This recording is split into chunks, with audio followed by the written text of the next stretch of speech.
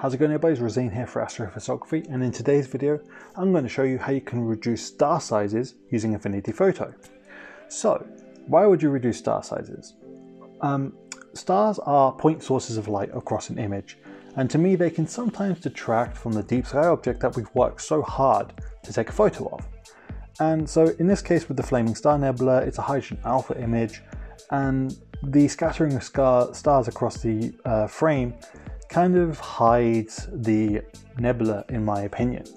So we'd use star reduction to kind of make the stars take backstage a bit so the DSO can take center stage and pop a lot more. I'm going to show you two examples of star reduction, one with a lot of stars in the frame like this one, and the other one on a galaxy where there's less stars, but you'll be able to see the overall effect still in action. So I would do the star reduction about 60% through my workflow once I've done my edits to the DSO and the edits to the background layer individually. And I'm kind of proceeding on from there, going into like final sharpening, noise reduction, um, and uh, color vibrance, etc. That's before all those, I'll do my star reduction.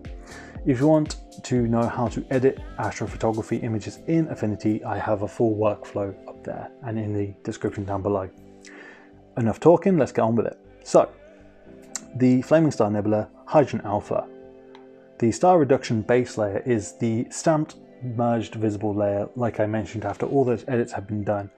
I would merge a visible layer um, and star reduction base would be the result of that. Star reduction is just a duplicated layer so I would have just gone right click and duplicate. The reason for using the two layer approach is for blending purposes. If I want to make, if the finished result is too much, you can blend it in. So what we're going to do, there's two ways of selecting the stars. I'm going to go to select and you can go the tonal range and highlights. And there's no tolerance slider here. I have said to Affinity, can you add a tolerance slider? Because sometimes it affects the um, nebula itself. That's one way of doing it. Just going to use Control D or select and deselect that.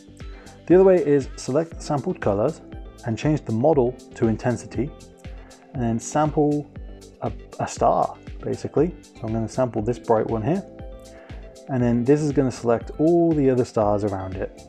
And if you want to select more stars, then raise the tolerance higher and higher and higher.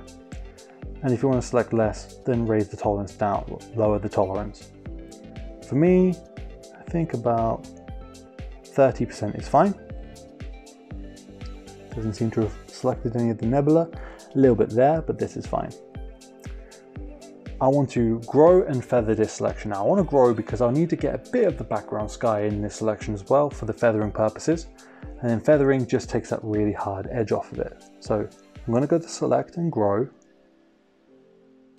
Make sure circle is picked. And I'm going to grow only by about two. So we can see now we've got a bit of the background sky in our selections. It has increased the selection of the nebula, but not too worried about that. You'll see why in a moment. I'm going to go to select again and then feather. Feathering takes that really hard edge off of things. I always explain it as it's a gentle slope going into a lake bed rather than a sheer drop off of a cliff face. So it's just a nice gentle transition. I'm probably going to feather this by about three you'll get a feel of it. I can't really explain how much to feather by. It depends on image scale and how much you're selected. It's more of an experience thing and when you learn and get more familiar with your camera and your telescope combination. But feathering is an integral part. If you miss out feathering, you're going to have a very solid transition and it's probably not the effect you're going for.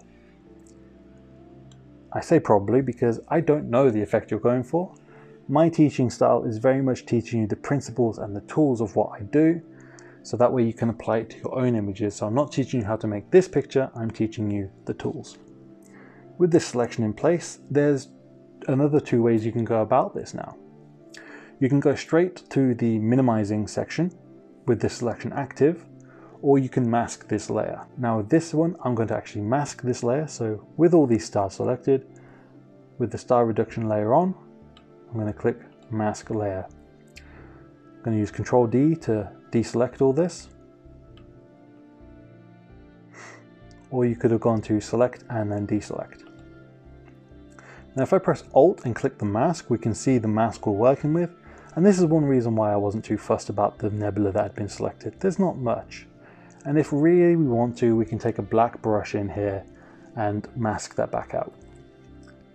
I'm going to make sure I click the thumbnail again of the entire image. And then I'm going to go to Filters, Blur. And then I'm just going to zoom in a bit. And I'll go to Filters, Blur, and then Minimum Blur. So Minimum Blur is the actual star reduction tool that I use. I'm going to bring the mirrored side-by-side view up and then I'm just going to scroll across the image and make sure that I'm happy with the amount that's going on. So 1, mm, 0 0.5, mm, that's a bit too much, so I'm just probably going to about 1.2, or maybe even 0 0.8, 1.2. Again, the amount you uh, reduce the stars by, it's a matter of personal preference and that's that. Now, I can fully admit that this might be a bit extreme for a lot of people, but this is why we've done the two layer approach. Because if I switch this off, that's before, that's after. I can just go up to the opacity level and change it to about 66% and then begin blending this. The higher the opacity, the smaller your stars are going to be. So I actually want that about 66% I think for me. and I'm happy with that overall effect. Now here's one uh, fact that the masking comes in handy with. Look at Alpha Aurigae, the very bright star of the Flaming Star Nebula. It is the Flaming Star. So, it's kind of been dimmed down in the, in the star reduction process. If I click the mask thumbnail here, I take my paintbrush, go to color, make sure black is selected, I can just use a black paintbrush on the flaming star there and that removes it from the mask so it's not been affected on the star reduction layer. So now you can see that Alpha Aurigae there in the middle hasn't been selected because it's been masked out. And you could do the same with these, this W of stars for example in this specific example. Or if there's like a star cluster in your image and you didn't want to reduce the star cluster, you could paint out and mask the star cluster. So that's doing the star reduction with an image with a lot of stars in it like this one. And you can see, I think you can easily see the visual impact that reducing the star sizes has had. It's really made the DSO pop out and the Flaming Star Nebula has really taken front and center stage. Let's go to the second example now, which is the Leo triplet. So there's a lot less stars in this example less covering the, the galaxies themselves. So this one won't have as much a visual impact as the Flaming Star Nebula, but it still is a nice little subtle change to this image. Star Reduction Base, I'm going to right click that, I'm going to duplicate it, and then I'll call this one Star Reduction. And then from there, I'm just going to go to Select, Tonal Range, highlights. And again, because there's no tolerance slider at the minute, it's kind of selected the cores of these galaxies. So I'm just going to take the free lasso, the free hand selection tool. If that's not available, right click it and then select free hand selection. Holding Alt, or you could click subtract, I'm going to hold Alt and I'm just going to draw around the core of these galaxies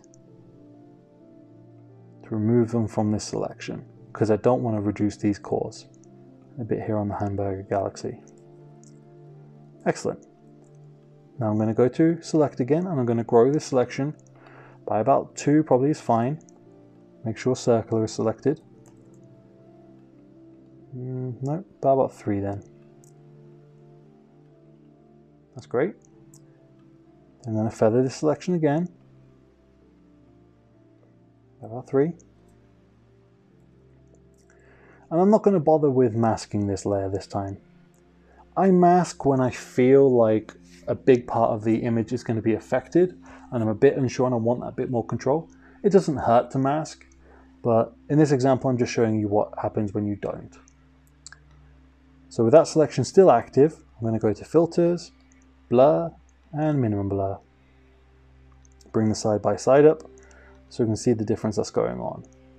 And then I'll go to select and deselect to get rid of those marching ants. And now we can just scroll across the screen here and have a look at what difference is doing. It's affected mainly the smaller stars, but it's had an overall effect. So if we go to 1.5, 2, 2 is very extreme, 0.5, not a lot. I think 1.2 works nicely for this image. The nice thing about this one, it's more of a visual thing. You can keep changing the threshold and the tolerance there until you get something you're happy with. And again, it's a subtle effect. It's lowered the overall brightness of the image. And again, if you don't like this, you can change the opacity to say 50%. And that's even more subtle, but it's just a nice amount. I think for me, 60% works nicely for the Leo triplet, and I'm happy with that. And there you go. That's reducing stars the same way in two different images to give you two different visual results.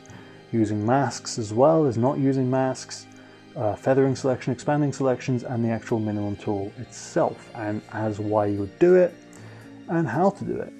So I hope that you've understood the principles of reducing stars in Affinity Photo, and if you haven't, let me know down below and I'll try to clear it up for you. Also, if you have any other requests for tutorials, drop them down below. In the meantime, thanks very much for watching. If you've enjoyed this video, give it a thumbs up, and if you think it could have been better, give it a thumbs down. Thanks very much for watching. Hope you have clear skies.